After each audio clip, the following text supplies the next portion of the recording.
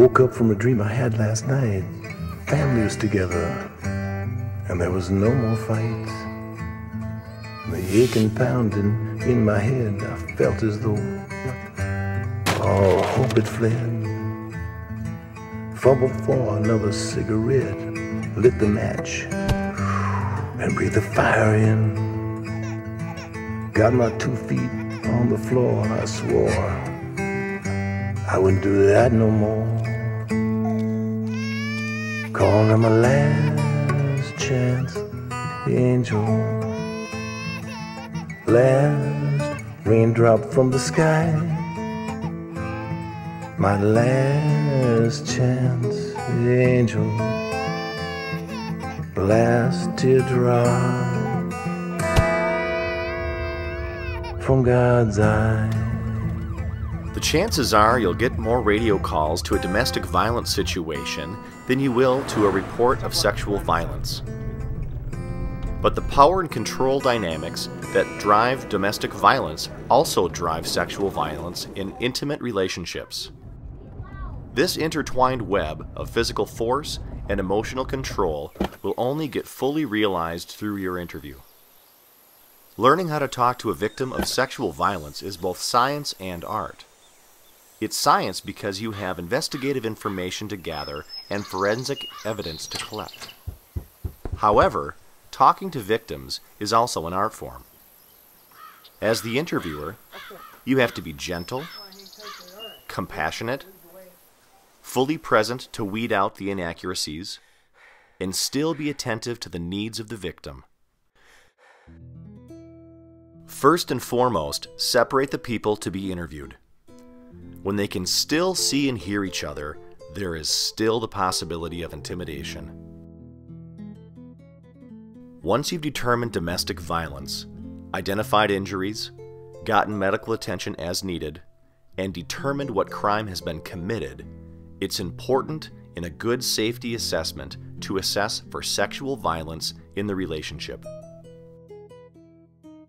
Sexual violence is common in domestic violence situations. Incidents can range from so called consensual sex out of fear all the way to violent sexual assaults. Forced sex is associated with more severe injuries in domestic violence situations, and the more severe the injury, the more critical it is to do a sexual assault safety assessment. Domestic violence is based upon power and control. Often, victims don't equate physical violence with sexual violence. For many reasons, victims of domestic violence won't bring up the topic of sexual violence on their own. They will, however, most often tell the truth if asked directly.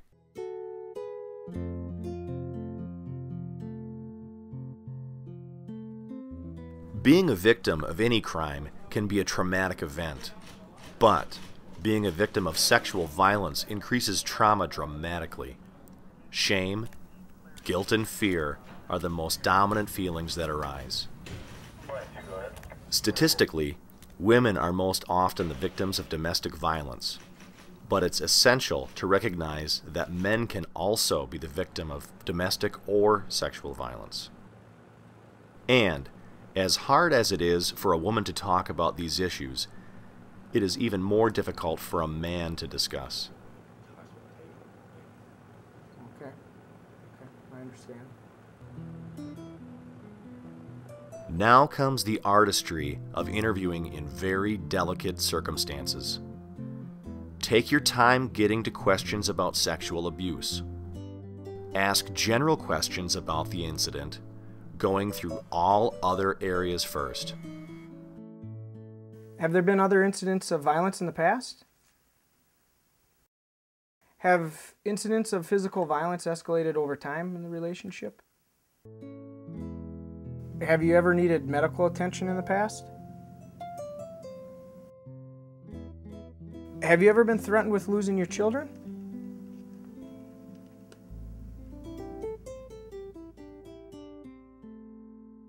Once you have the general idea of what's been happening, now you can begin to ask more specific questions.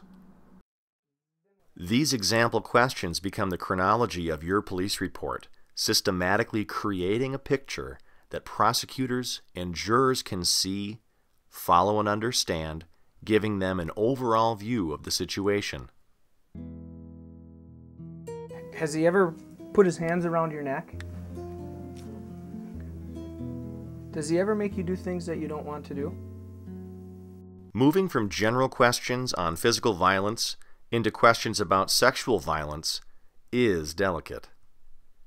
You can begin with transition questions. I'm going to ask you some questions that can be very uncomfortable. Um, have you ever submitted to having sex out of fear?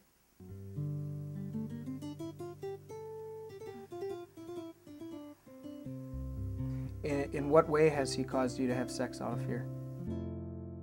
Does he ever give you an ultimatum to submit to sex or else? What's the or, the or else part?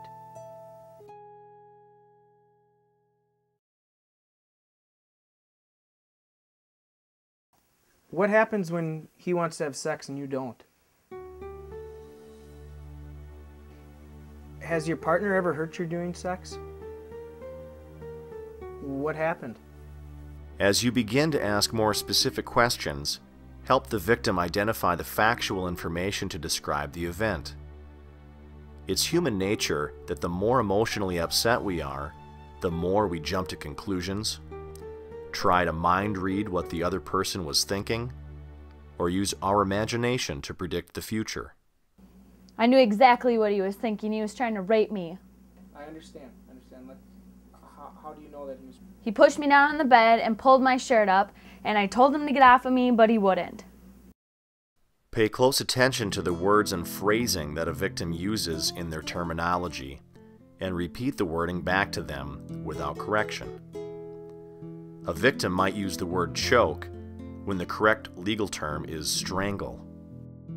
Use the victim's words and write down the full description of what happened. A victim might describe being forced to have sex when the actual crime of rape is really what occurred. Use the victim's wording, but describe the elements of the crime when you determine a crime was committed. While it's essential to gather factual, logical, and sequential information about the act itself, it's also important to get the broader impact of the violence in a victim's life. Is this a pattern of behavior in your relationship?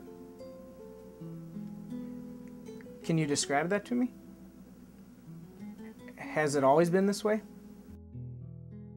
Can you can you tell me how long it's been? Victims of sexual violence often develop a fear of people in general. They can feel a pervasive sense of vulnerability and general loss of control over their lives. Their daily sense of anxiety can be high, and they're often filled with shame, guilt, and self blame. These chronic feelings lead to nightmares, difficulty performing simple tasks, or cause other sexual problems. This added information can help you assess if this is an ongoing problem or a one time situation.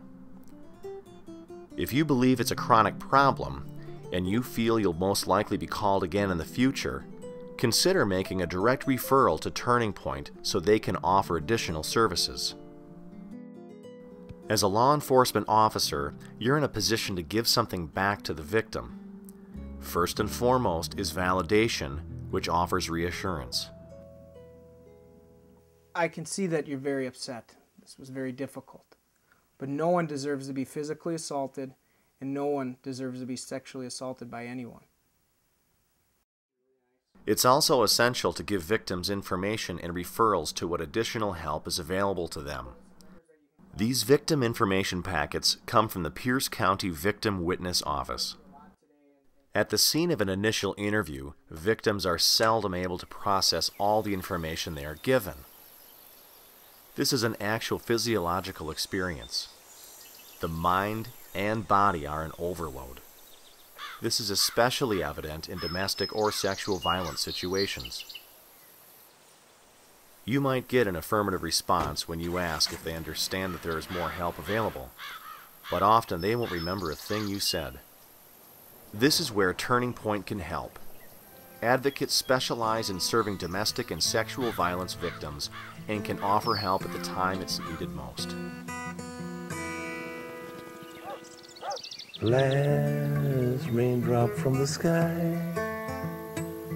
my last chance, angel, last teardrop from God's eye.